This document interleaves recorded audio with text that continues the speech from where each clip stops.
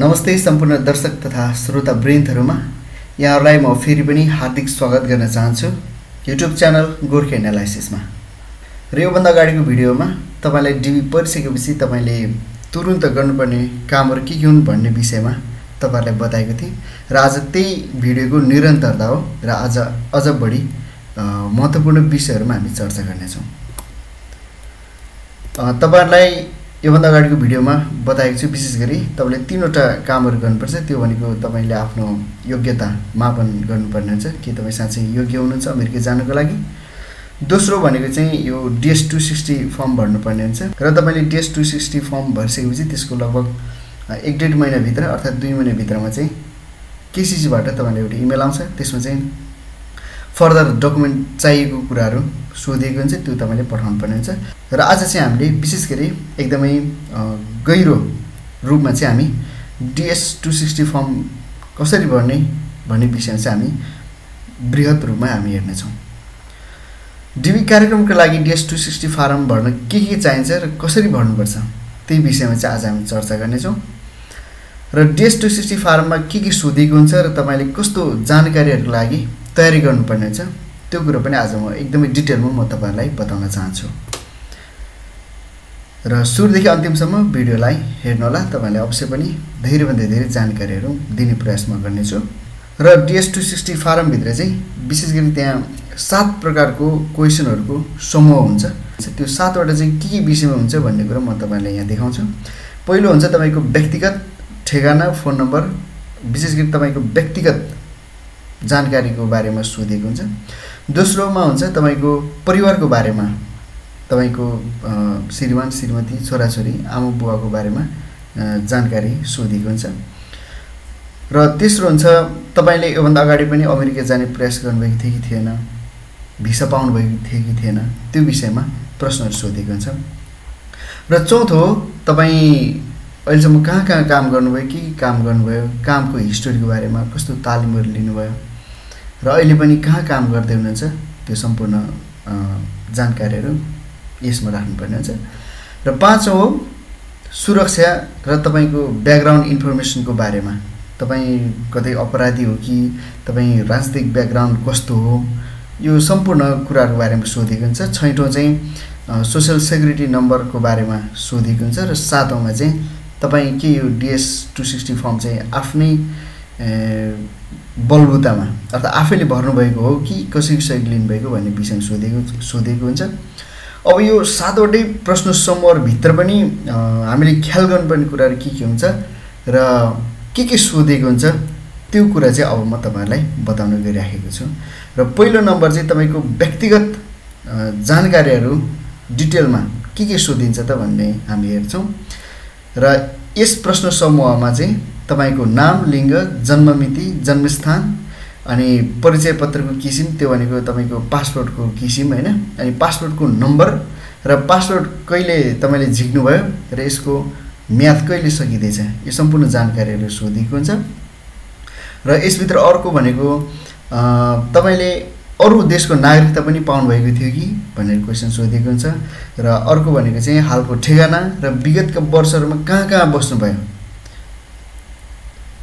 र समयको टाइमलाइन अनुसार मानौँ तपाईँ दुई हजार दसदेखि बाह्र धरानमा बस्नुभयो होला अनि दुई हजार तेह्रदेखि दुई हजार सोह्रसम्म तपाईँ इटरीमा बस्नुभयो होला अनि फेरि दुई हजार सत्रदेखि उन्नाइससम्म मानौँ कामको सिलसिलामा या पढाइको सिलसिलामा काठमाडौँमा बस्नुभयो होला। हो यस्तै कुराहरू चाहिँ सबै त्यहाँ वान बाई वान भर्नुपर्ने हुन्छ। तपाईँको मोबाइल नम्बर इमेल आइडी र फेसबुक ट्विटर के प्रयोग गर्नुहुन्छ त्यसको बारेमा चाहिँ यहाँ सोधिएको हुन्छ। र लास्टमा चाहिँ यो पहिलो प्रश्न समूह अन्तर्गत चाहिँ तपाईँको स्पोन्सरको बारेमा सोधिएको हुन्छ। उहाँको नाम उहाँको ठेगाना इमेल सम्पर्क नम्बर के हो भनेर। र अब हामी दोस्रो प्रश्न समूहमा हामी जान्छौँ। त्यो चाहिँ तपाईँको परिवारको बारेमा हो। यसमा चाहिँ तपाईँको आमा बुवाको नाम जन्ममिति जन्मस्थान र अझै उहाँहरू जीवित हुनुहुन्छ या उहाँहरूको मृत्यु भइसक्यो भन्ने बारेमा सोधिन्छ। र आमा बुवाको मृत्यु भएको खण्डमा चाहिँ मृत्यु कहिले भयो भनेर सोधिएको हुन्छ। र तपाईँको श्रीमान श्रीमतीको विवरण नाम जन्ममिति जन्मस्थान आदि सोधिन्छ।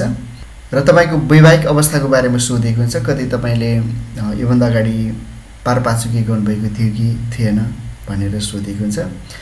र तपाईँका छोराछोरी छन् कि छैनन् त्यो सम्पूर्ण विवरण यहाँ राख्नुपर्ने हुन्छ। यदि तपाईँको छोराछोरी छन् यदि तपाईँ विवाहित मान्छे हो भने त्यो सबै सबै कुराहरू यहाँ राख्नुपर्ने हुन्छ र तेस्रो चाहिँ तपाईँको योभन्दा अगाडि अमेरिका जाने प्रयास गर्नुभएको थियो कि थिएन? होइन यो यसभन्दा अघि तपाईँ कहिले अमेरिका जानुभएको थियो कि थिएन? अनि तपाईँको लागि भिसा जारी भएको थियो कि थियो कि थिएन? अनि कतै कुनै कारणवश तपाईँको अमेरिकाको भिसा योभन्दा अगाडि रद्द भएको थियो कि थिएन? यस्तै खालको प्रश्नहरू चाहिँ यो तेस्रो प्रश्न समूहमा सोधिएको हुन्छ। यसको तयारी तपाईँले गर्नुपर्ने हुन्छ। र चौथो हो तपाईँको काम र तालिमको विषयमा सोधिएको हुन्छ।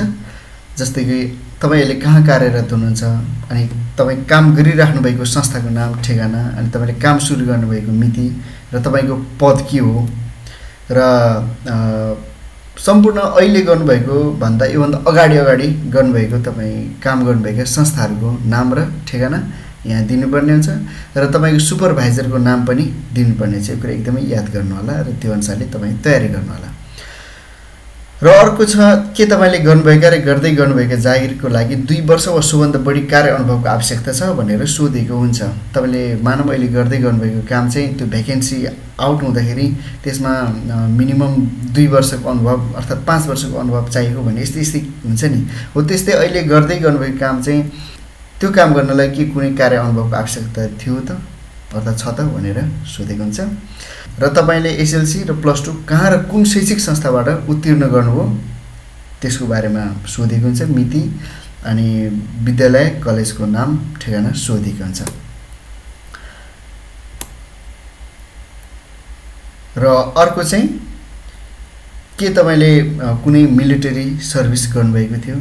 नेपाल आर्मीमा प्रहरीमा या कुनै देशको आर्मीमा? के तपाईँले सेवा पुर्याउनु भएको थियो भनेर प्रश्न सोधिन्छ। र अन्तिम प्रश्न तपाईँको यो डिबी प्रोसेसको लागि जुन पछि अन्तर्वार्ता हुनेवाला छ त्यसको लागि तपाईँले पाएक पर्ने सहर कुन होला भनेर सोधेको छ यो चाहिँ किन सोधेको भन्दाखेरि कतिपय मान्छेहरू चाहिँ अहिले विदेशमा छन् अनि उनीहरू चाहिँ त्यही देशको दूतावासमा चाहिँ उहाँहरूले अन्तर्वार्ता दिने त्यो सिस्टम सम्भव छ त्यही भएर यो सोधिएको हो। र तपाईँले आफ्नो पाएक पर्ने सहर कुन हुनसक्छ नेपालको लागि भने काठमाडौँ भन्नुपर्ने हुन्छ। त्यो राख्नुपर्ने हुन्छ। र पाँचौँ प्रश्न समूह हो security and background information section यसमा चाहिँ यति धेरै प्रश्नहरू सोधेको हुन्छ त्यो सबै प्रश्नहरू यहाँ राखेर अहिले सम्भव छैन। र त्यसको केही सारसंक्षेप चाहिँ म तपाईँलाई यहाँ देखाउन चाहन्छु। त्यो अनुसारले सम्पूर्ण तयारी तपाईँले गर्नुपर्ने हुन्छ। र तपाईँको सुरक्षा सम्बन्धी र ब्याकग्राउन्ड हिस्टोरी सम्बन्धी प्रश्नहरूमा चाहिँ पहिलो प्रश्न हुन्छ तपाईँ के कुनै दीर्घ रोगी हो कि तपाईँ कुनै प्रकारको दीर्घ रोग तपाईँसँग छ कि? अनि अमेरिकी कानुनले निर्धारण गरे बमोजिमको खोप लिनुभएको छ कि छैन? के तपाईँसँग कुनै प्रकारको शारीरिक वा मानसिक दुर्बलता छ कि? अर्थात् अपाङ्गता भएको व्यक्ति हुनुहुन्छ कि भनेर सोधेको हुन्छ। तपाईँ ड्रग एडिक हो कि होइन? यस्तो खालको प्रश्नहरू सोधेको हुन्छ होइन? अनि के तपाईँ कुनै अपराध कार्यको लागि पक्राउ पर्नुभएको छ वा आपराधिक कार्यमा संलग्न हुनुभएको छ भन्ने प्रश्न सोधेको हुन्छ। यो सबैमा प्रायः अब छैन छैन भन्ने नै हुन्छ। र तपाईँ यदि अपाङ्ग हो भने चाहिँ तपाईँले अपाङ्ग अर्थात् फरक क्षमता भएको व्यक्ति हो भने त्यही प्रकारले भर्नुपर्ने हुन्छ। जस त्यहाँ सोधेको प्रश्नहरूको तपाईँले सठिक जवाब दिने प्रयास गर्नुहोला। अर्को प्रश्न चाहिँ के तपाईँ कुनै अपराध कर्ममा सहभागी भएको आमा बुवाको सन्तान हो? यस्तो समेत प्रश्न सोधिएको हुन्छ। र अर्को छ के तपाईँ कुनै अपराध वा वेश्यवृत्तिको लागि अमेरिका योभन्दा अगाडि जानुभएको थियो त भनेर पनि सोधेको हुन्छ। र यस्तै अरू धेरै प्रश्नहरू सोधेको हुन्छ। म केही फेरि थप प्रश्नहरू यहाँ राखिदिन्छु तपाईँहरूलाई। यस्तै प्रकारको सामाजिक हिंसा मानवाधिकार तथा बाल अधिकार हनन कार्यमा संलग्न हुनुभएको थियो कि थिएन? कसैलाई ठग्ने लुट्ने चोरी डकैती मानव बेचबिखन जस्ता अपराधिक कार्यमा भाग लिनुभएको छ कि छैन जस्ता प्रश्नहरू सोधेको हुन्छ। अनि तपाईँको कुनै आतङ्कवादी समूहसँग तपाईँको सम्पर्क छ कि? भनेर पनि सोधेको हुन्छ। होइन कतिपय मान्छेहरू अब सञ्जय दत्त जस्तो अलिक खतरनाक टाइपको पनि हुनसक्छन्। त्यस्तो कति तपाईँ पनि हो कि भनेर कन्सर्न हुन्छ है। र तपाईँको राजनीतिक जीवन तपाईँ कम्युनिस्ट विचारधाराको कि कङ्ग्रेस हो कि यस्तो खालको कुरा पनि सोधेको हुन्छ। र तपाईँ कुनै राजनीतिक पार्टीमा लाग्नुभएको छैन भने कुनै समस्या नै भएन। तर राजनीतिक कार्यकर्ता हो तपाईँ। झन्डा बोकेर विगतमा हिँड्नुभएको इतिहासहरू छन् भने तपाईँले आफ्नो के हो सो चाहिँ यहाँ बताउनु पर्ने हुन्छ। र यस्तै प्रकारका अन्य धेरै सुरक्षासँग सम्बन्धित प्रश्नहरू यस खण्डमा राखिएको हुन्छ। मैले तपाईँलाई संक्षेपमा यति नै भने यो पाँचौँ नम्बरको प्रश्न समूह अन्तर्गत। र छैटौँ नम्बरमा छ social security number information section यसमा चाहिँ के तपाईँले कहिले सामाजिक सुरक्षाको लागि आवेदन दिनुभएको छ भनेर सोधेको हुन्छ? र के तपाईँ सामाजिक सुरक्षा विभागबाट सामाजिक सुरक्षा कार्ड प्राप्त गर्न चाहनुहुन्छ भनेर सोधेको हुन्छ? के अमेरिकाको सम्बन्धित सामाजिक सुरक्षा विभागलाई तपाईँको सामाजिक सुरक्षा नम्बर उपलब्ध गर्नलाई अनुमति दिनुहुन्छ भनेर पनि सोधेको हुन्छ। यसमा तपाईँले आफ्नो जवाफ दिनुपर्ने हुन्छ। र यो सातौँ प्रश्न समूहमा चाहिँ तपाईँले यो डिएस टू सिक्सटी फर्म भर्नलाई कसैको हेल्प लिनुभयो कि भएन या त आफैले भर्नुभयो भनेर सोधेको हुन्छ एउटा मात्रै प्रश्न छ। त्यो कसैले तपाईँलाई मद्दत गर्यो कि यसमा चाहिँ तपाईँले अवश्य पनि होइन म आफैले भरेको हुँ भनेर जवाब दिनुपर्ने हुन्छ। यदि तपाईँ कन्सल्टेन्सीकै सहारा लिनुभएको भए पनि जवाब चाहिँ त्यसरी लेख्नु होला र थप कुरा म तपाईँलाई बताउन चाहन्छु डिएस टू सिक्सटी फर्म चाहिँ कहाँ पाइन्छ र कसरी भर्ने भन्ने विषयमा यो चाहिँ यहाँ जुन लिङ्क छ यो लिङ्कलाई चाहिँ म डिस्क्रिप्सनमा पनि राखिदिनेछु। यो लिङ्कमा गएर तपाईँले क्लिक गरेपछि जुन पेज खुल्छ त्यो पेजमा चाहिँ इमिग्रेन्टदेखि मुनि त्यो थर्ड लाइनको चाहिँ DS two sixty online immigrant visa and online registration application लिङ्कमा चाहिँ क्लिक गरेपछि चाहिँ तपाईँको अर्को जुन पेज खुल्छ त्यो पेजमा तपाईँको डिबीको केस नम्बर हाल्नुपर्ने हुन्छ। त्यो केस नम्बर सही प्रकारले हालेपछि तपाईँको डिएस टू सिक्सटी फर्म चाहिँ खुल्छ। र होसियार साथ सोधेका प्रश्नहरूको जवाब वा जानकारी फारममा भर्नुपर्ने हुन्छ। र सबै प्रश्नहरूको उत्तर दिइसकेपछि डिएस टू सिक्सटी फर्मलाई चाहिँ तपाईँले सब्मिट गर्नुपर्ने हुन्छ। त्यो सब्मिट गरेपछि एउटा कन्फर्मेसन पेज त्यहाँ जेनेरेट हुन्छ। त्यसलाई चाहिँ डाउनलोड गर्ने मजाले प्रिन्ट गर्ने र त्यसलाई सुरक्षित राख्नुपर्ने हुन्छ। र त्यो चाहिँ बाँकी प्रक्रियाहरूमा चाहिँ त्यो कन्फर्मेसन पेपर चाहिँ आवश्यकता हुन्छ पछिका दिनहरूमा।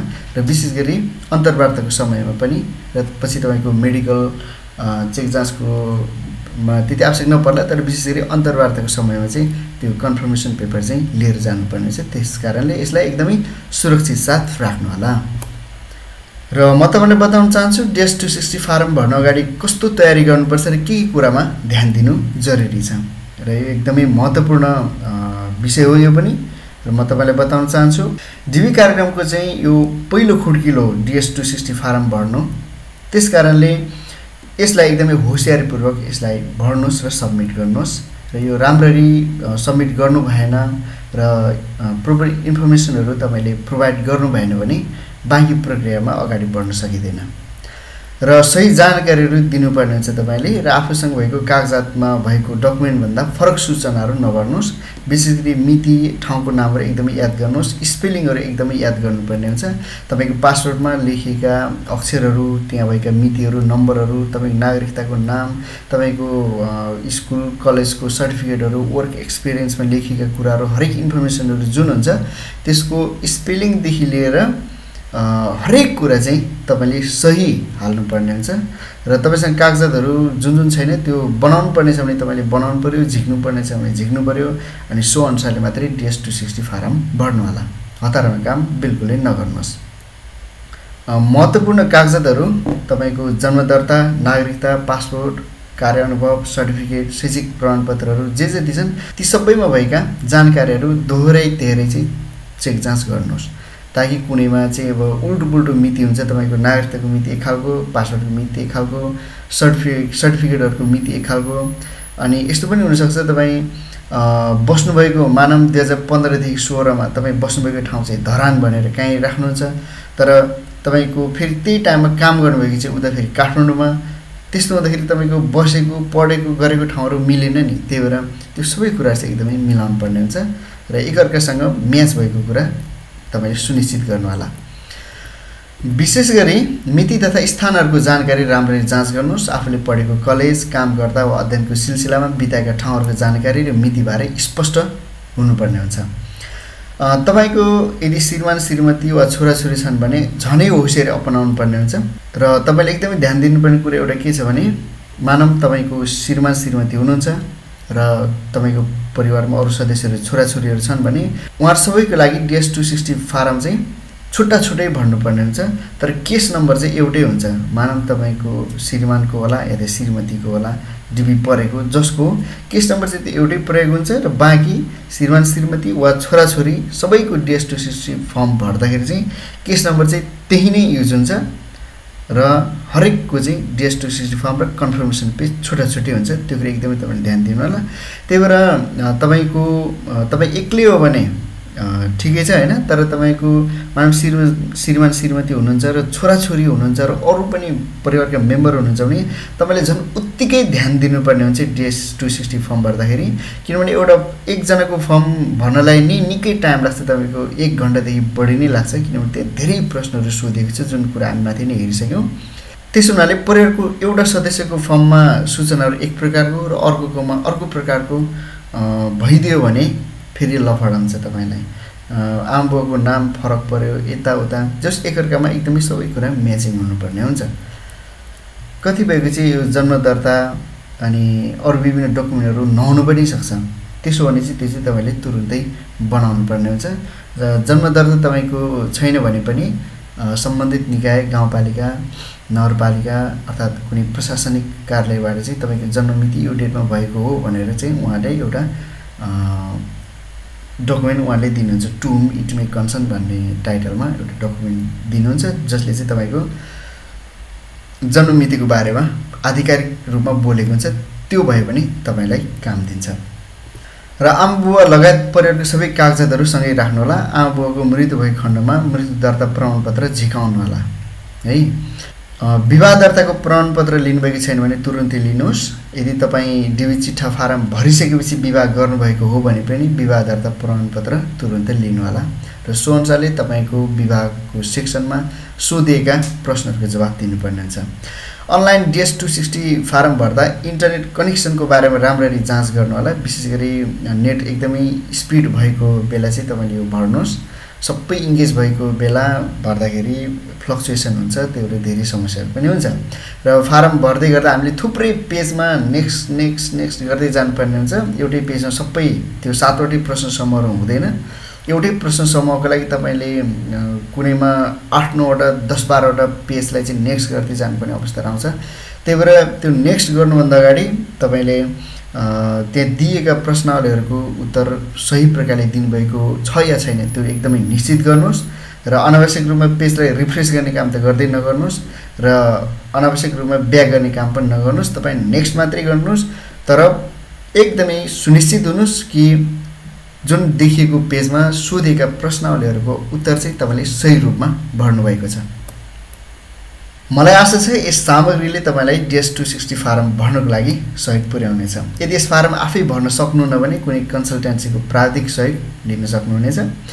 तर माथि जानकारी दिएअनुसार आफ्नो तयारी अवश्य गर्नुहोला जसको कारणले डिएस फारम भर्नलाई धेरै सजिलो हुनेछ। तपाईँ कुनै कन्सल्टेन्सीले यो भन्ला त्यो भन्ला र अनि म यो गरौँला भनेर नसोच्नुहोस् उहाँहरू पनि सबै कुरा उहाँहरूले पनि थाहा हुँदैन। त्यसो भएको हुनाले तपाईँ आफ्नो तयारी आफै गर्नुहोला। र आजको भिडियोमा यति नै। नेक्स्ट भिडियोमा हामी चर्चा गर्नेछौँ केसिसीले सोधेको सपोर्टिङ डकुमेन्ट्सहरू कसरी सबमिट गर्ने र के के सोधेको हुन्छ त्यसको तयारी कसरी गर्नुपर्छ त्यो विषय म तपाईँलाई बताउँछु। यसमा विशेष गरी पुलिस रिपोर्टका कुराहरू सोधेको हुन्छ। त्यो त्यसको तयारीको लागि के के गर्नुपर्छ भन्ने विषयमा म बताउनेछु र कसरी पठाउनुपर्छ भन्ने कुरा म बताउनेछु र अर्को कुरा हुनेछ दोस्रो चिठी चाहिँ कस्तो हुन्छ त? अर्थात् यसलाई टु एनएल लेटर पनि भन्छ। कतिपय मान्छेले डिएस टू सिक्सटी फर्म भरिसकेपछि एक डेढ महिनादेखि दुई महिनाभित्र आउने जुन सपोर्टिङ डकुमेन्ट चाहिँ सब्मिट गर्नलाई जुन इमेल आएको हुन्छ त्यसैलाई नै दोस्रो चिठी भनेर मख पर्ने हुन्छ। तर तपाईँ एटलिस्ट यो भिडियो हेर्ने मान्छेहरू जो जो हुनुहुन्छ तपाईँहरू चाहिँ त्यसरी नसोच्नु होला कृपया यो भिडियो लिङ्क अरू साथीहरूले पनि सेयर गर्नुहोस्। आफ्नो फेसबुक टाइमलाइनमा ट्विटरमा वाट्सएप ग्रुपहरूमा सेयर गर्नुहोस् ताकि अरू साथीहरूले पनि यस यो भिडियोको कारणले सहयोग पुगोस्। र अझ धेरै जानकारीको लागि अवश्य पनि यस गोर्खे एनालाइसिस च्यानललाई सब्सक्राइब गर्न नभुल्नुहोला बेलायकन दबाउनुहोला। र यदि तपाईँ पढ्न मन पराउनुहुन्छ भने यो ब्लगको जुन लिङ्क दिएको छु Suman Jaba world dot blogspot dot com यहाँ पनि मैले यो हरेक कुराहरू विस्तृतमा त्यहाँ लेखेर राखेको छु। त्यहाँबाट तपाईँले लाइन बाई लाइन आरामले पढेर पनि यस विषयमा धेरै जानकारी हासिल गर्न सक्नुहुन्छ। र तपाईँको डिएस टू सिक्सटी फर्म भर्नको निम्ति अर्थात् यसलाई एकदम मजाले आरामले सफलतापूर्वक भर्नुहोस् भन्ने शुभकामना व्यक्त गर्न चाहन्छु। हामी फेरि भेट्नेछौँ अर्को भिडियोमा। तबसम्मलाई नमस्ते जय नेपाल।